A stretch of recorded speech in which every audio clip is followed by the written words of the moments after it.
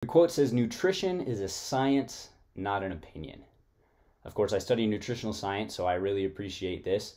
Um, one time I had a college professor on the first day of class who was kind of telling us about his background, some of his experiences, and he actually had his bachelor's degree in biochemistry rather than nutrition.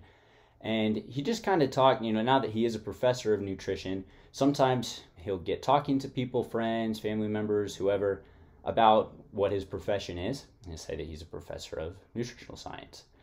And he kind of related that lots of people, when he says that, will say, Oh, I know lots about nutrition. I know some things about nutrition. Um, but then he said that if he ever changed that and maybe he wanted to say he's a professor of biochemistry rather than nutritional science, he says that really they're the same thing. That's what nutrition is, it's biochemistry. Anyways, whenever he told people that he's a professor of biochemistry, nobody would ever say, "Oh, I know lots about biochemistry. I have some things I could could tell you about biochemistry."